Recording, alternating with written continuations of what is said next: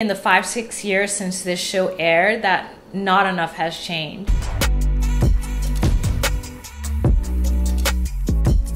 Hey loves, it's back on your screen with another one. Hope you're all well. As you can tell from the title, today we're discussing Atlanta Season 1, Episode 7. This is one of those episodes looking back, I started to laugh, not so much because it's funny, even though there are some funny moments, more so because I was just like, how did they get away with this? But we're gonna get into it. Out of all the episodes out of season one, this is going to be the easiest to break down. We only have one of the main character cast in it, Paperboy, as he's on this show called Montague, a spoof of Donahue. Everything about the show is a spoof and a play on the culture. There is so much context and conversation to be had on different themes Atlanta did what needed to be done, but at the same time, I don't think they could have done this in 2022 the way they did back in 2016 or 17. In the five, six years, a lot has changed, but not so much that needed to change. And we're going to get all into that. but before we do, let's just break down the plot a little bit. So this episode opens up with three commercials, and I'm watching it like, oh yeah, that's right. Here are the corny spoofs. The first commercial that comes up, I'm like, what's going on? I think it was the Dodge. And the way they advertise everything, it was for the black market, but it was saying things that you would never hear said in a commercial. That one had me looking at it sideways. The one that came up about the Arizona can, and the guy's like, wait, the price is on the can. it says 99 cents, but it's never 99 cents. I don't care what province or state or part of the planet you live in, that Arizona iced tea is never 99 cents. And I've had that conversation with people like, why does it say that? Was it 99 cents once upon a time? Because it's not today. I don't drink that stuff anyway. It's too sweet, but I thought it was so funny. That is a very light-hearted commentary. Some of the other commercials got heavy real quick and we'll get into it. We see Paperboy in a chair like he doesn't want to be there with another person on the panel. I don't remember her name. I'm going to assume she's a psychologist or specialist of some sort. And then the host, Montague, who he woke up and chose violence today because the way he was really trying to probe and berate Paperboy. But that's how hosts are. Like, if you watch shows, they really are like that. They just try to be more subversive with it, and it's so annoying. So I can at least give this host credit for coming out front instead of pretending to be on the side of getting to know his guests. No, he came for the smoke. I love that at one point Paperboy's like, I'm only here because I'm getting paid. Montague's like, you're not getting paid. Paperboy's like, earn to the crowd. Earn's doing what needs to be done. As his manager, Earn needs to put Paperboy in spaces where he's going to get more exposure. Apparently, Paperboy put some tweets out that were a little tasteless. The specialist on the panel was calling him out, like, what do you mean by this? And he was saying, I mean what I meant. I don't know why you guys are getting mad. Free speech is a thing. At first, she was very guarded. She was even going through his past lyrics and saying, What do you mean about this? It seems like you're gender neutral yourself or gender fluid.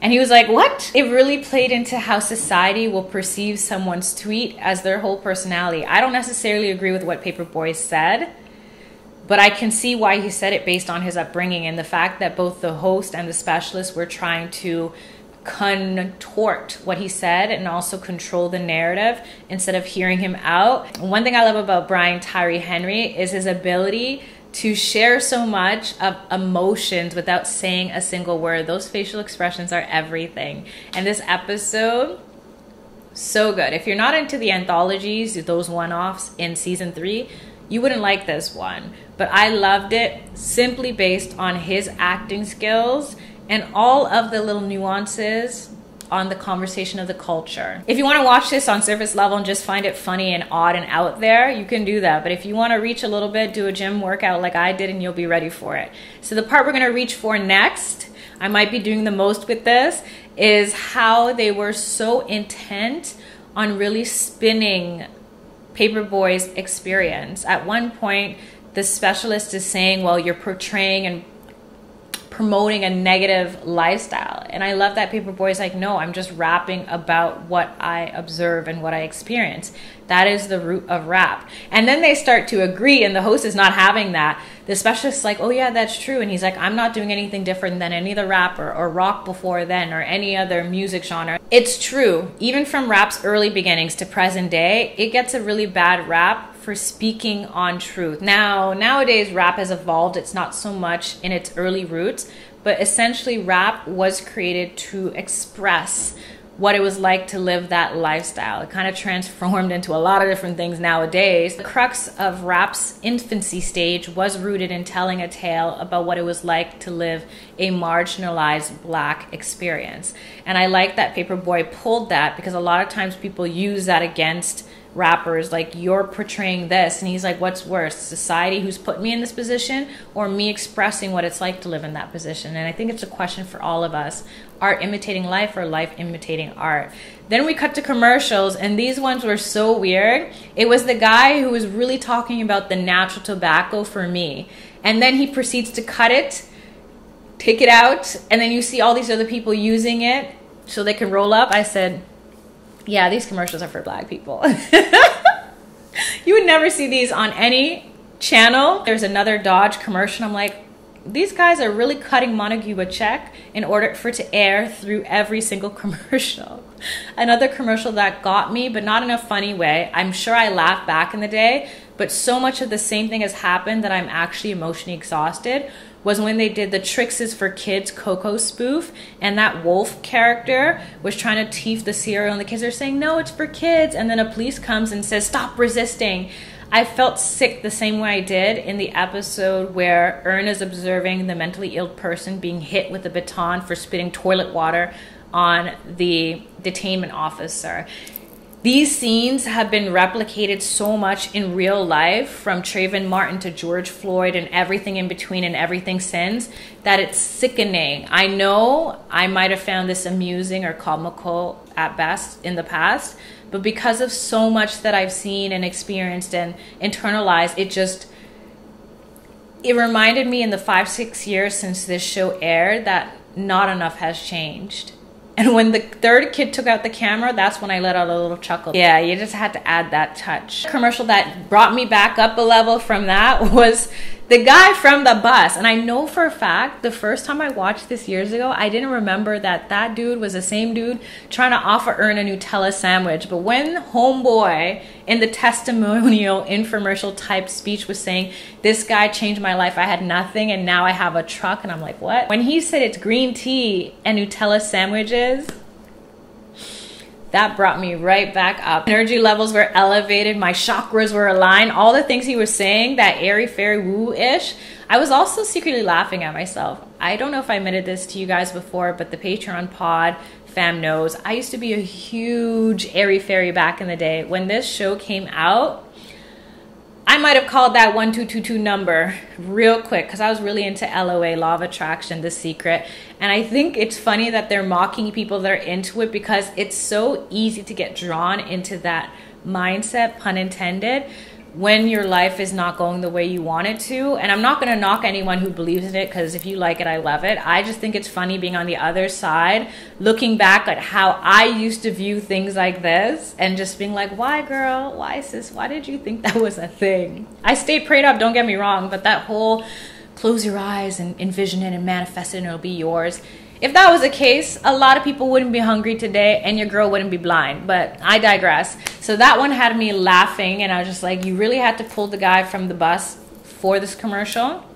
I wonder if Ernest is gonna call him and be like, yo, I know you, give me a discount. Then we cut back to a segment, and then Montague introduces a new guest.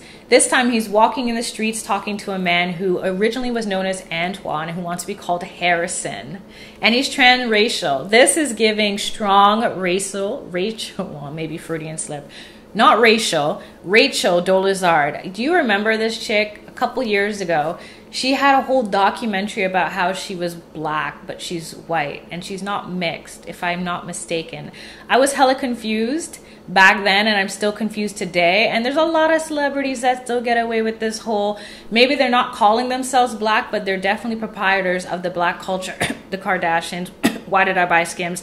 that was a mistake. Mm, there's a lot in my throat today. That's a conversation that's going to be evergreen, even though I wish we laid it to rest. Why is this a thing? Why did Harrison slash Antoine walk down the streets saying how he sees things differently now and he was wondering why he wasn't treated the way he should be and he realized I'm white. And now he talks to himself in the mirror and he wears his brown belt and he works two jobs that his mom said in the cutaway segment he doesn't work anywhere so i don't know what he's telling you. That's why i love black moms. They're not here for the ish. Sometimes it's not a good thing because when you're going through it they're like what are you being a suck about? Sometimes it's good because they don't stand for no foolishness. And his mom was not playing with any of this. I was laughing when they got the specialist on who was going to do the procedure for his transracial. We can change you to any race you desire it's just gonna look odd. I said, I wish more surgeons were actual factual, okay? I'm gonna tell you guys a quick story. So, when I was 21, maybe 22, this little left eye started going to the left, to the left, trying to be irreplaceable. And I'm like, nah, we're not having that, okay? And it wasn't even as bad as it is today because everyone who meets me today notices it, whereas back in the day, I had to point it out for people to pick it up. But I was like, no, no, no, no. It's bad enough that I have this eye disease. I don't know how bad it's gonna get, but I don't want my eye going chameleon on me. So I went to a specialist who does surgeries to align your eyes.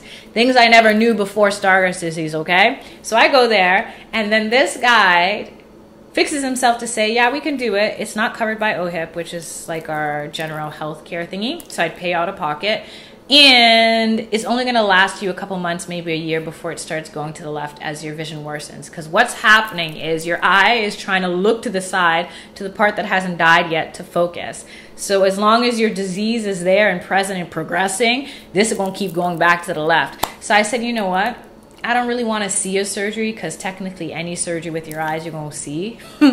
so let me skip on that. But I loved his honesty there, and I love this very rude honesty here. I just. This episode understood the assignment, it has its place in space. I don't love it necessarily, but I love what it had to say about so many different themes. I like that Paperboy stood up for himself, but I also like that because he spoke his truth, we could come to a knowing and awareness. One thing I hate about Toronto, and I've mentioned this in my pods before, is Torontonians or maybe Canadians at large pretend like we're better than Americans, but we're hella racist too. Not me so much, but I mean us, we as a microcosm, where a lot of people I've encountered think they're holier than thou, but then when we talk, I'm like, you really fixing yourself to say that? Really? Really? That's how you think? Or they won't say something and pretend to be an ally, whether for transgenders, putting she and her and them and he and they on their signatures or on their Instagram page, but they don't co sign that lifestyle.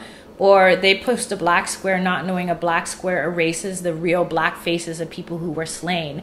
It's just that kind of pretending to do something and pretending to care when you don't even do the research to know more. And further than that, because we're just we're here, let's talk about it. I think Canadians are just as racist as Americans, they just don't speak on it as much. And I'm not condoning Paperboy's perspective, but I do appreciate that he was strong enough to share and not back down. So we could see on that panel varying views. And at the end, the best part is the specialist actually starts agreeing with Paperboy, and the host is not having it because the ratings won't go up if things are copacetic like that. But what really got me was the ending when they check back in with Harrison. He's got that really bad wig on that Paperboy is ripping him a new one for. The way Paperboy was going on and on and on, I'm like, okay, fam. The only thing that was worse than that was when Montague was in Antoine's house and they're just nodding for five minutes. I'm like, sir, are you doing this because you want to have the nod to cut the scene, or you're just both really odd and just nodding obsessively for no reason? I was just like, what's going on here? I love the ending. Not only did the specialist come to an understanding with Paperboy as far as rap being the same thing as rock in any other genre that doesn't get as much slack for portraying and perpetuating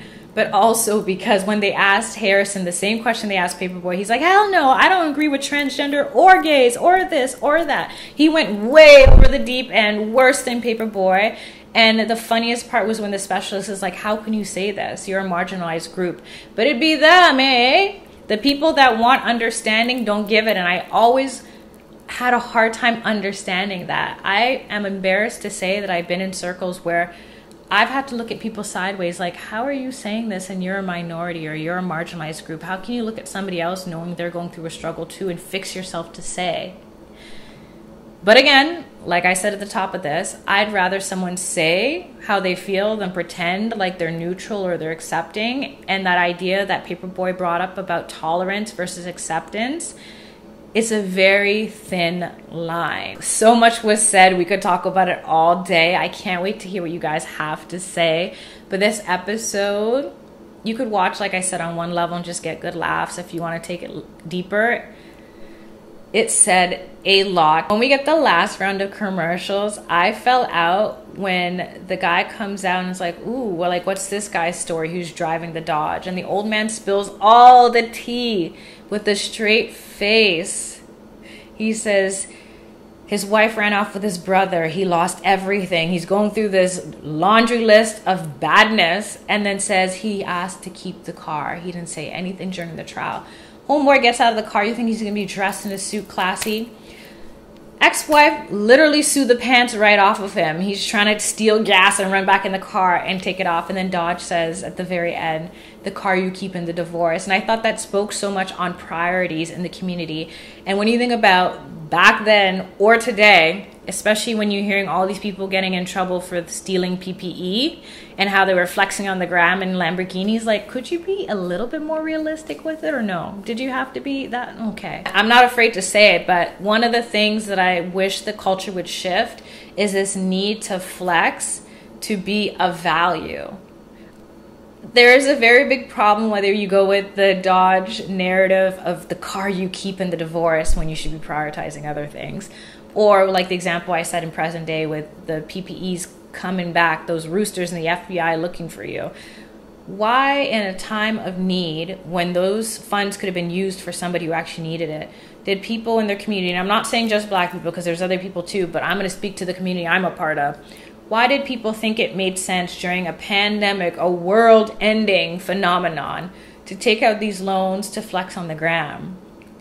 There needs to be a conversation there, and I think that sums up this entire episode about image, portrayal, trans fill in the blank, whatever it is, whether it's transracial, transgressive, transgender there's just so much there to be said about how we are viewed, how society views us, and how it's a cycle pouring into one another.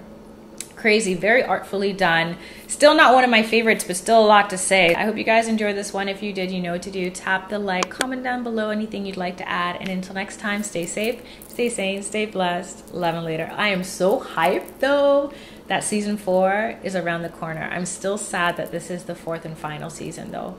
I really hope that they pull in some characters from season one so we can get a good laugh.